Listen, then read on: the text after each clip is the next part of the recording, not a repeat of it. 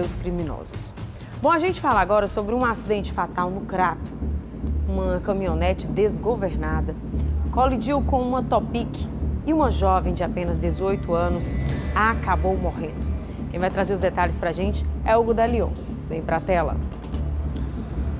Olá, boa tarde para todo mundo. O acidente com vítima fatal aconteceu no cruzamento da Avenida Duque de Caxias com Rua José Marrocos, no centro da cidade de Crato.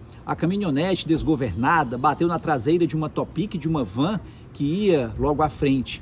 Né, a passageira, uma mulher que estava no banco do passageiro, acabou morrendo em consequência da batida. A caminhonete parou com uma pancada muito forte no muro da casa.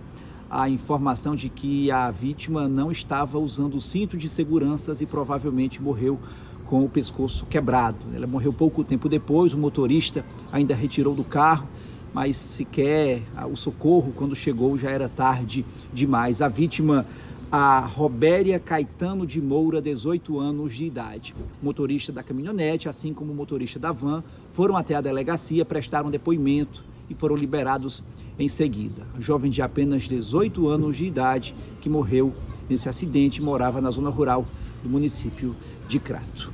Hugo Delion para o Cidade 190. Bom, agora a gente faz uma